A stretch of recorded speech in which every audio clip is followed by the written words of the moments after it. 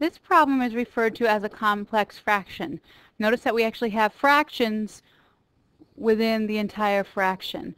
So what we need to do for this problem is to somehow get it to be just one numerator and one denominator. And the simplest way to do that is to multiply through by the common denominator over the common denominator. Here our common denominator is y plus 1. So I'm going to multiply the numerator times y plus 1 and I'm going to multiply the denominator times y plus 1. And when I do that, here we'll have y times the quantity y plus 1.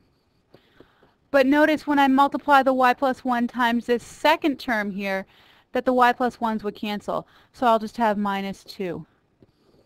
And something similar happens in the denominator here. I take 1 times y plus 1, that's just y plus 1.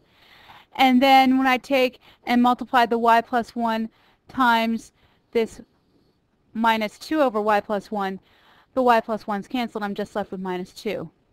And now the only thing I have left to do is to combine like terms, multiply things out. Maybe something will factor.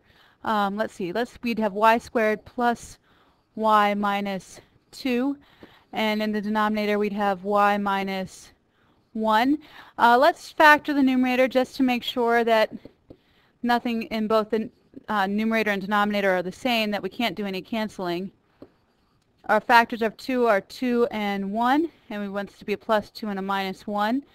And actually, look here. The 1 minus 1s are the same in both the numerator and denominator. So our actual final answer is just y plus 2. So that entire complex fraction that we were given at the beginning of the problem simplifies to y plus 2.